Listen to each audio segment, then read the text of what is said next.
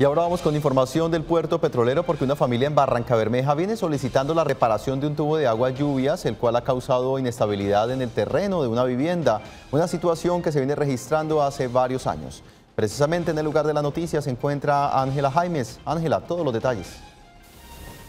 Compañeros en estudio, muy buenas tardes. Pues yo a esta hora me encuentro en una de las viviendas que hace tres años viene siendo afectada por este tubo de aguas lluvias y la comunidad realmente espera una pronta solución por parte de la empresa correspondiente. En estas condiciones se encuentra una familia quien le tocó mudarse debido a la gravedad en la que se encuentra la vivienda. O Aguas de Barranca dice que eso le pertenece a infraestructura y infraestructura dice que Aguas de Barranca. Y no nos dan ninguna solución debido a tanta lluvia, ¿sí? Y como ella recoge todo el agua de la calle, se ha ido deteriorando el terreno.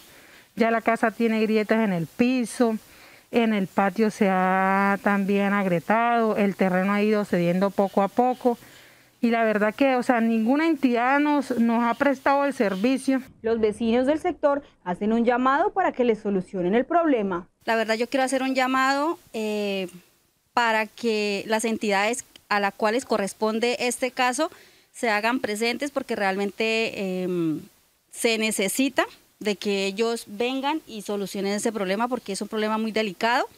Es un problema que está perjudicando a una madre eh, cabeza de hogar. Nosotros también nos hemos afectado porque debido a eso que cada día está avanzando más, nosotros nos da miedo que eso también llegue hasta aquí arriba.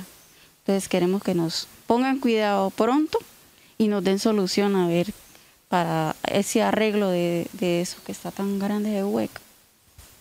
Nosotros tratamos de comunicarnos con los encargados de la empresa, pero pues hasta el momento no ha sido posible. Sin embargo, estaremos intentando para darle solución, por supuesto, a esta comunidad que tanto lo requiere. Desde Barranca Bermeja para Oriente Noticias, Ángela Jaimes, estamos informando.